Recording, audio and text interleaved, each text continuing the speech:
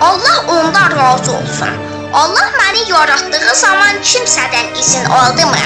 Siz məni Həzrət Əli olaraq tanıyır və sevirsiniz. Mən sevimli peyğəmbərimizin əmisi oğluyam. Ona iman edən ilk 4 şəxsdən biri olaraq tanındı. Peyğəmbərimiz hicrət edəcəyi zaman müşriklər ona tələ qurmuşdular. Biz də bir plansızdıq. Mən Allah Rəsulunun yatağında yatdım və sui-qəsdi ona heç bir zərər vermədi. Eyni zamanda peyğəmbərimizlə birlikdə bir neçə döyüşdə iştirak etdim. Xeybər şəhərini qoruyan qalanın qapılarını mən açdım. Əlbəttə ki, bu Allah Taala'nın köməyi və peyğəmbərimizin duası ilə olmuşdu. Əziz peyğəmbərimizin ən qəhrəman dostlarından biriyəm. Allahın Rəsulu məni Allahın aslanı adlandırmışdı. Həmçinin peyğəmbərimizin sevimli qızı Həzrət Fatimə ilə ailə həyatı quraraq peyğəmbərimizin kürəkəni oldum.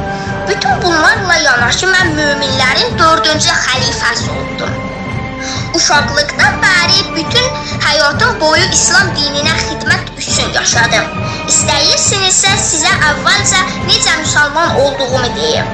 Həzrət Məhəmməd əmim Həzrət Abdullahın oğludur. Atam Əbu Talibin maddi imkanı yaxşı olmadığı vaxtlarda Həzrət Məhəmməd bir gün Abbas əmimlə bərabər atamın yanına gəlib ona kömək etmək istəmək istədiklərini bildirdilər. O atama dedi: "Əmi, əgər istəyirsənsə oğlun Cəfər qardaşım Abbasın yanında böyüsün, Əli də mənim yanımda." Yaxşı ki, atam bu təklifi qəbul etdi. Beləliklə mən peyğəmbərimizin yanında böyümək fürsəti əldə etdim. Demək olar ki, bütün uşaqlığım onun yanında keçdi. Bir gün Allah Rəsulunun evinə getmişdim. O və həyat yoldaşı Həzrət Xədicə daha əvvəl heç görmədiyim bir şəkildə bəzi hərəkətlər edərək ibadət edirdilər. Etdikləri şey o dərəcə xoşuma gəldi ki, heyran-heyran onları tamaşa edirdim. İbadət edib qutardıqdan sonra mənə tərəf döndülər. Mən təəccüblə soruşdum: "Nə edirsiniz belə?" Peyğəmbərimiz namaz qıldıqlarını dedi. Ardından mənə İslam dinini başa salaraq, "Gəl, sən də müsəlman ol" dedi. Məni bir olan Allaha inanmağa insana heç bir faydası olmayan ağacdan və daşdan düzəltilmiş cansız bütlərdən uzaqlaşdırmağa dəvət etdi. Mən çox təəccüb etdim. Andaca təklifi qəbul etməyib əvvəlcə atamdan soruşmalıyam dedim. O vaxtlarda Rəsulullaha peyğəmbərlik vəzifəsi yeni verilmişdi. İslam dinini yalnız çox güvəndiyi şəxslərlə təbliğ edirdi. Hər kəsin xəbər tutmaması üçün yeni dinə dəvəti gizli saxlayırdı. Mənə dedi: "Əgər mənim sənə olan bu təklifimi qəbul etməzsən, özün bilərsən. Fəqət bu aramızda bir sir olaraq qalmalıdır. Diqqətli ol, Əli. Bu dediklərimi heç kim bilməməlidir. Yaxşımı?" Mən də onlara söz verərək yanlarından ayrıldım. Evə gedərkən əmim oğlu Həzrət Məhəmmədin mənə olan təklifini düşünməyə başladım. Birdən ağlıma bir fikir gəldi. Mən kim, məni kim yaratdı? Əlbəttə ki, Allah. Yaxşı, Allah məni yaradarkən atam Əbu Talibdən izin aldımı? Əlbəttə ki, xeyr. Allah insanı yaradarkən kimsədən icazə al alarmı? Heç.